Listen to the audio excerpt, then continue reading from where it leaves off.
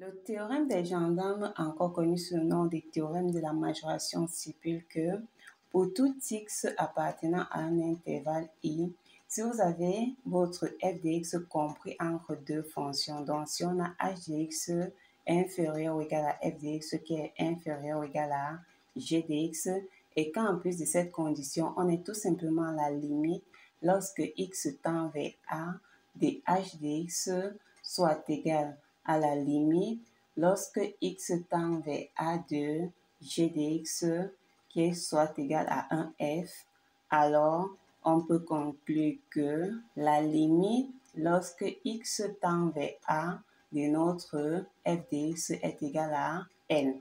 Ici, L peut être un réel ou alors ça peut être plus ou moins l'infini de même, notre A, ça peut être la limite en plus ou en moins l'infini, ou tout simplement, ça peut être la limite en un réel.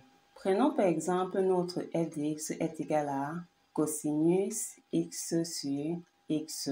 Supposons que je travaille sur l'intervalle moins l'infini jusqu'à 0. Si on me demande de calculer la limite lorsque x tend vers moins l'infini de notre f de x, ça reviendrait tout simplement à calculer la limite de cosinus x sur x en moins l'infini.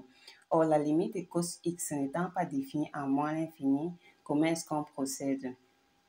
On se rappelle tout simplement que pour tout x appartenant à i, ici moins l'infini 0, j'aurai toujours le cosinus compris entre moins 1 et 1.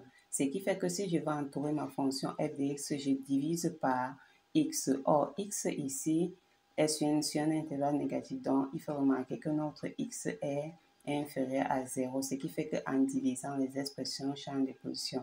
Donc, on va dire 1 sur x serait inférieur à cosinus x sur le x inférieur ou égal à moins 1 sur x.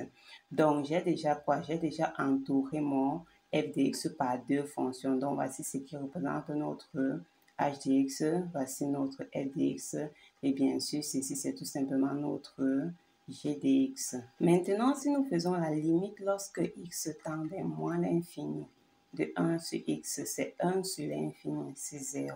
Si je fais la limite lorsque x tend vers moins l'infini de moins 1 sur x, 1 réel sur l'infini, c'est 0.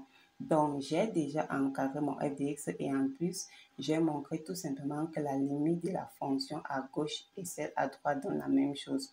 Donc, je pourrais tout simplement conclure que la limite lorsque x tend vers moins l'infini de notre f de x est égale à